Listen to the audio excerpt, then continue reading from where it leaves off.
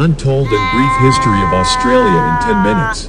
By Koollife James, powered by Koollife, multimedia.com.au. The first colony was established at Sydney by Captain Arthur Phillip on January 26, 1788. It was initially considered a penal colony. Six colonies were formed in Australia.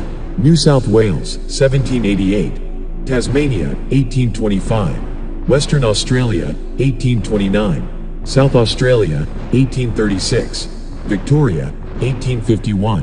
And Queensland, 1859. I will encourage you to listen to Australian National Anthem before we proceed on this Koollife documentary.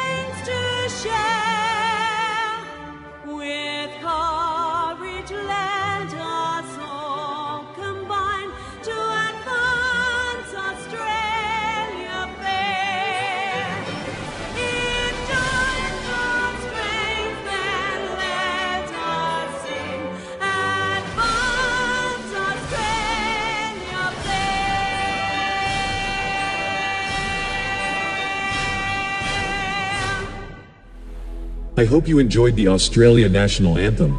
Let's continue to know more about Australia with Koollife James. What is Australia's official national anthem?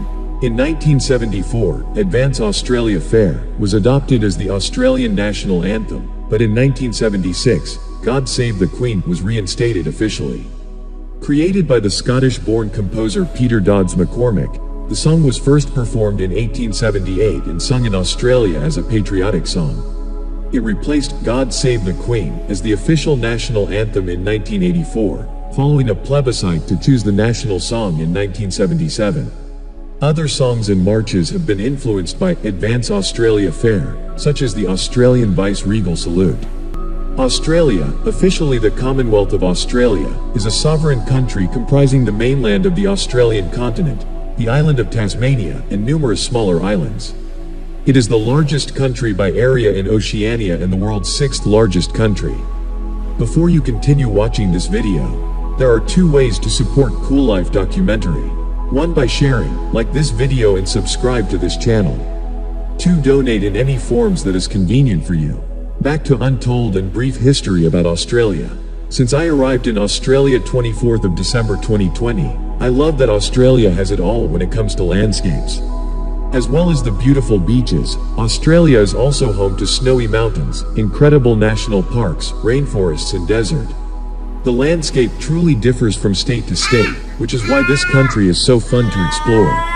How did Australia begin? On January 26, 1788, Captain Arthur Phillip guides a fleet of 11 British ships carrying convicts to the colony of New South Wales, effectively founding Australia.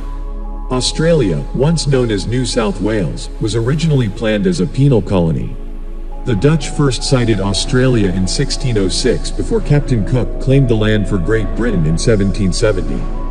The first fleet of 11 boats arrived at Botany Bay in 1788 to establish New South Wales as a penal colony, receiving convicts until 1848. What was Australia called before? New Holland after British colonization. The name New Holland was retained for several decades and the South Polar continent continued to be called Terra Australis, sometimes shortened to Australia.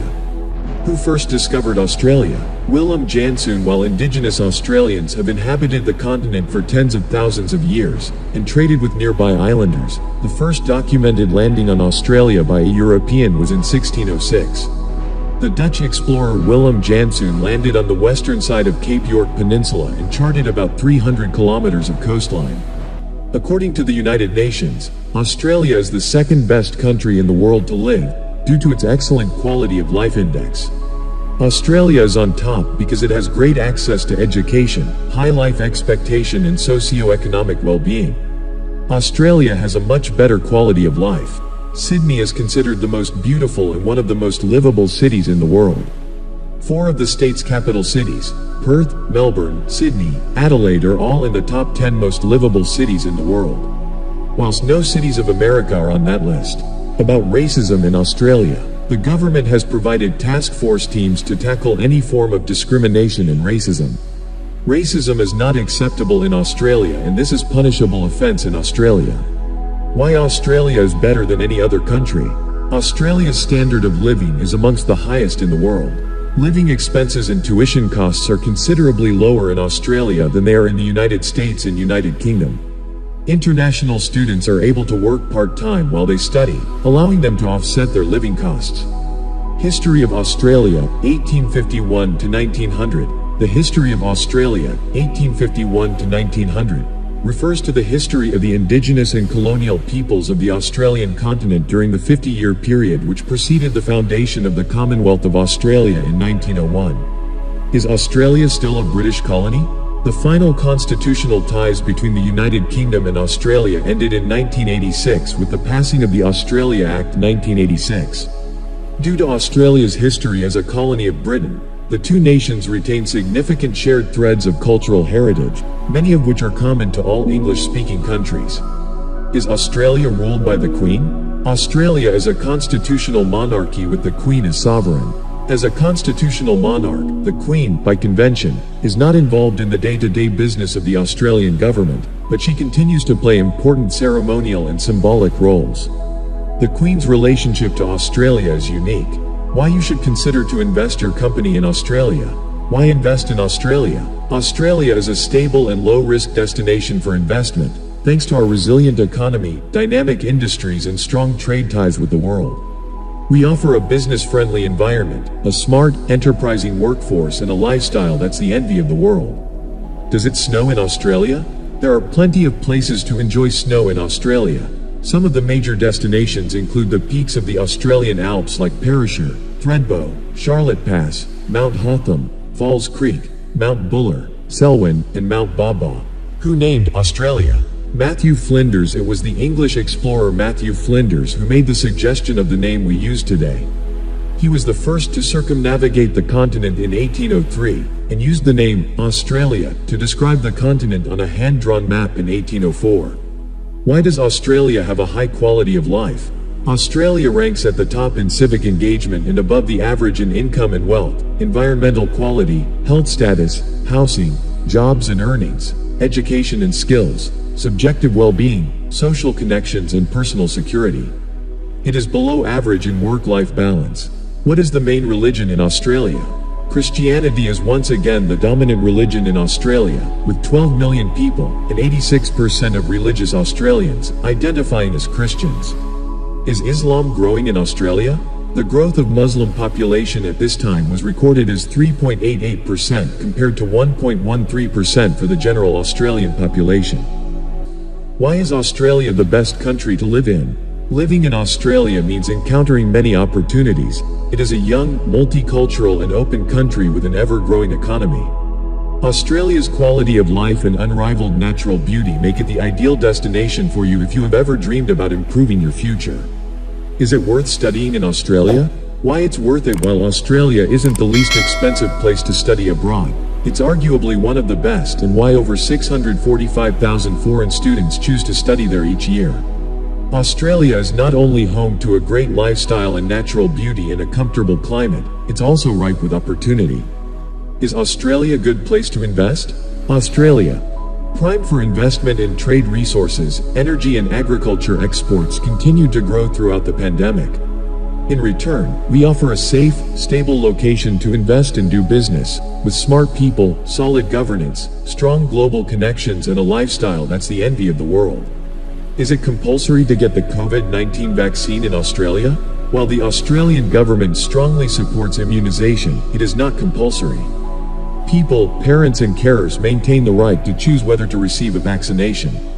What are the disadvantages of living in Australia? One of the cons of living in Australia is the high living expenses. They can vary based on your way of life. When relocating, the size of your family, place of relocation, lifestyle, accommodation, food and other expectations can drastically change the cost of living in Australia. What do Aboriginals call Australia? The nations of indigenous Australia were, and are, as separate as the nations of Europe or Africa. The Aboriginal English words, blackfella and whitefella, are used by Indigenous Australian people all over the country. Some communities also use yellowfella and colored. What my next video about Aboriginal Australians. Thank you for watching. If you enjoyed this video, please give us thumb up and click the subscribe button. And kindly share this video and comment below if you want more of this. For more information about Australia visit our website www.koollifemultimedia.com.au. I am your host, Koollife James. Cheers and no worries.